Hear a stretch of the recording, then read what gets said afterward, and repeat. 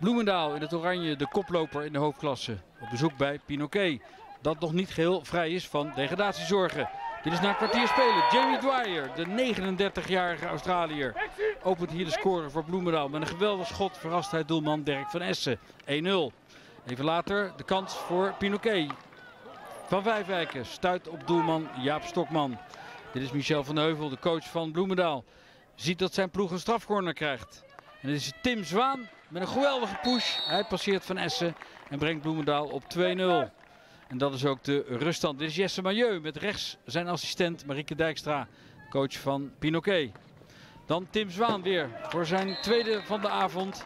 Hij scoort de 3-0 vlak na de rust. Zijn twaalfde van dit seizoen. Goede goal van Tim Zwaan. Dit is een enorme kans op de 4-0 van Roel Bovendeert. Maar hij poest de bal op de paal. En zo blijft het 3-0 voor Bloemendaal. Bloemendaal dat de heenwedstrijd met 1-1 gelijk speelde tegen Pinoquet. Dat was in oktober van 2017. Maar nu staat het dus 3-0 voor en grote kansen op 4-0. Hier de Spanjaard Xavi Leonard. Maar hij stuit op doelman van Essen. In de laatste minuut van de wedstrijd krijgt Bloemendaal nog een strafcorner. En is het Tim Zwaan met zijn derde van de avond die voor de eindstand zorgt. Bloemendaal wint vrij eenvoudig met 4-0 van Pinoquet. Kampong in de blauwe shirts ontvangt in Utrecht het Den Bosch van coach Erik Verboom. Dit is Philip Meulenbroek in de beginfase van de wedstrijd. Maar een goede redding van doelman Maurits Visser in het doel van Den Bosch. Hij komt volgend seizoen uit voor Bloemendaal. Dit is Philip Meulenbroek. Dan de strafcorner van Den Bosch. De push en een goede redding van David Hart. Hij staat weer in het doel bij Kampong. Afgelopen zondag was hij er niet bij tegen Amsterdam. Toen was hij geblesseerd aan zijn arm. Quirijn Kaspers voor Kampong met de opgekomen Sander de Wijn. Goede voorzet, maar gaat voorlangs het doel van Maurits Visser. Dan is het Björn Kellerman die de bal binnenhoudt. En alleen op Visser afgaat, maar die redt. En uiteindelijk op de doellijn wordt daar die bal eh, weggehaald door een verdediger van Den Bosch. En zo blijft het 0-0 in die eerste helft. Dit zijn beelden uit de tweede helft. Aanval van Den Bosch. Arjen Lodewijks met de kans op de openingstreffer. Maar een goede redding van David Hart in het doel van Kampong. Zo blijft het 0-0. Dan Kampong. Björn Kellerman hier met de actie. Houdt de bal binnen. Gaat richting cirkel. Kellerman, een van de internationals van Kampong. Voorzet en dan is het Pepijn Luiks die daar vallend afrondt. En Kampong op 1-0 brengt. Zo'n zes minuten na de rust. 1-0 dus door Pepijn Luiks. Dit is Martijn Haviga. Bal wordt niet goed verwerkt daar door de verdedigers van Den Bosch. Uiteindelijk is het de stiel van Lars Balk. Die gaat goed door. En via Jip Jansen komt de bal terecht bij Philip Meulenbroek. En die haalt in één keer uit. En scoort zijn achtste treffer van dit seizoen. En brengt Kampong op 2-0. Goede goal van Philip Meulenbroek. Dit is de slotfase van de wedstrijd. Hier nog een kansje. Boet Vijver op Lars Balk. Lars Balk met een schotje. Dat gaat net naast het doel van Maurits Visser. En zo blijft het 2-0 voor Kampong. De landskampioen wint van Den Bosch. Dit is Alexander Cox, de coach van Kampong. Amsterdam in het wit op bezoek bij HDM. Dit is een strafcorner voor Amsterdam. Wordt ingeslagen door Billy Bakker. De bal gaat via keeper van Montfort in het dak. En zo is het 1-0 voor Amsterdam na 5 minuten al. Dit is uh, de 20e minuut van de wedstrijd. Billy Bakker met een lange paas wordt aangeraakt door Casper Hoorn vlak voor Van Montfort. En zo is het 2-0 voor Amsterdam. HDM de hekkensluiter in de competitie moet vrezen voor degradatie. Terwijl Amsterdam gewoon nog meedoet voor de play-offs. Dit is een kansje voor HDM van Martijn Dolman. Maar zijn bal gaat via de lat over. Zo blijft het 2-0 voor Amsterdam. Dit zijn beelden uit de tweede helft. Willy Bakker op Valentin Verga. Paasje op Casper Hoorn. Uiteindelijk is het Casper uh, Hoorn die het laatste tikje geeft. En is het 3-0 voor Amsterdam. Na die actie van Valentin Verga. Mirko Pruiser met de 1-2 met Verga. Pruiser nog niet gescoord deze wedstrijd. Dat maakt hij gelijk goed, want dit is zijn backhand. Door de benen van Van Montfort. En is het 4-0 voor Amsterdam. Topscorer van de hoofdklasse Mirko Pruiser. Even later scoort hij zijn tweede van de avond. En brengt de stand op 5-0. Het is zijn 23e treffer van dit seizoen. Mirko Pruiser. In de laatste minuut doet HDM nog iets terug uit deze strafcorner. Wordt in eerste instantie gestopt door de Wijkersloot, maar heel hard ingeslagen door Martijn Dolman. Amsterdam wint met 5-1 van HDM. Almere in de witte shirt, de nummer 11, strijdt tegen degradatie. Tegen Oranje-Rood, de nummer 4. Die strijdt nog om een plaats bij de beste 4 voor de play-offs.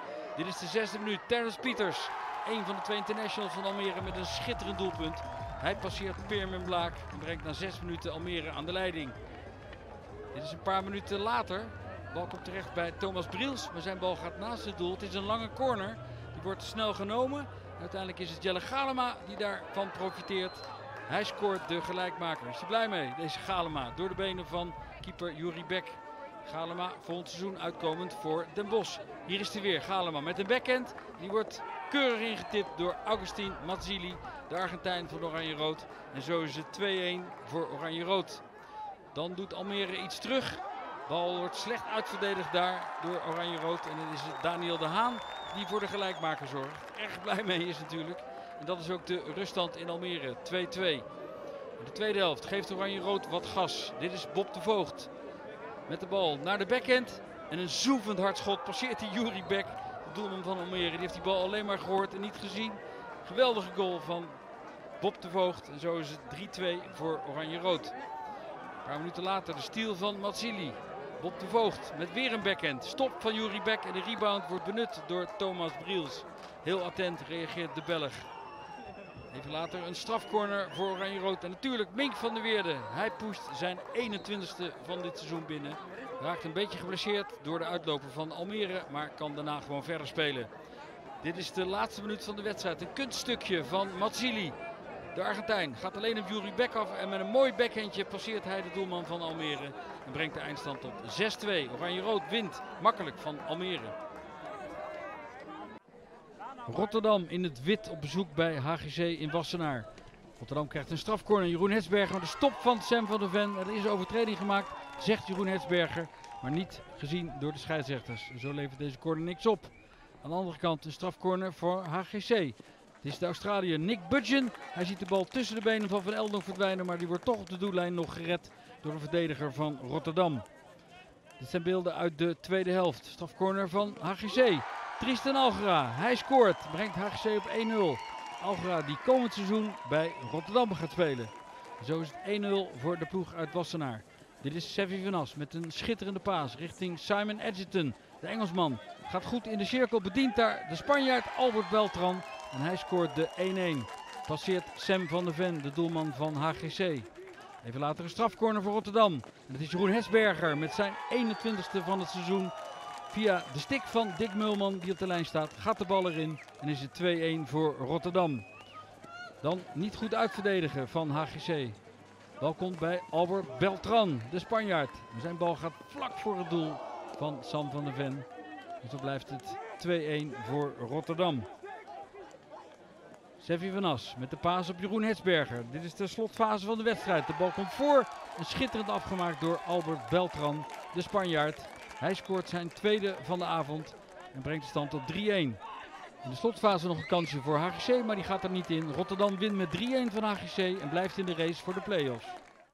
In Beeldhoven moesten op het laatste moment nog een aantal ballenkinderen gerecruiteerd worden. Vandaar dat de wedstrijd tussen SCSC en Tilburg een paar minuten later begon. Dit is Tilburg in het wit tegen SCAC. Een regelrechte degradatiekraker. Dit is Bas Scheer in de beginfase van de wedstrijd met een tip in. Maar over het doel van Matthijs Oudekerke. En zo blijft het 0-0 daar in Beeldhoven. Veel publiek deze avond aanwezig. Dit is uh, Jibbe Staps met de bal. Wordt aangeraakt door Jip Krens. Hij zegt binnen de cirkel. Daarna aangeraakt door een verdediger van SCAC. Maar geen doelpunt gegeven door Koen van Bungen. Maar het is onduidelijk, maar het heeft er alle schijn van dat Krens die bal binnen de cirkel raakte. Dus het een geldig doelpunt zou zijn. Maar scheidsrechter van Bungen keurt hem dus af. En even later legt hij het spel stil. Hij legt zelf uit waarom. Die gasten daar, die counter wil ik niet horen. Nou ja? Nee, gewoon in het algemeen. Ja? Dan sta ik er. Aanvoerder Postumus Meijers van SCC moet naar het publiek toe om hun te waarschuwen dat ze ermee moeten stoppen met die scheldkanonades richting Koen van Bungen. Dit zijn beelden uit de tweede helft. De strafcorner voor Tilburg. Jip Krensen op de bank. De sleeppush is van Vincent Langehuizen. En je ziet bal via een verdediger van SCSC in het doel belanden. En zo een 1-0 voorsprong voor Tilburg. Dan SCSC. Dat gaat hockeyen na die 1-0 achterstand. Een variant van de strafcorner via Bram Weers op het lijf van Jan Maarten Takken. Maar die stond naast dit doel, heeft Koen van Bungen geconstateerd. Dus geen strafbal, maar gewoon uitslaan. Dan weer SCSC met Bram Weers op zoek naar die gelijkmaker. Bal komt bij Steve Stroeken en die bedient Luc van Duren. En die met een mooie tipping passeert die van Amstede, de doelman van Tilburg. En scoort zo de gelijkmaker. 1-1 dus. Dan in de slotfase. Foutje van Jan Maarten Takken. Opgepakt door Inwer Wiese. Goede redding van Van Emstede. Nog een keer Wiese, maar weer een goede redding van Van Emstede. En zo blijft het 1-1 tussen SCAC en Tilburg. Dit is Jeroen Domee, de coach van Tilburg.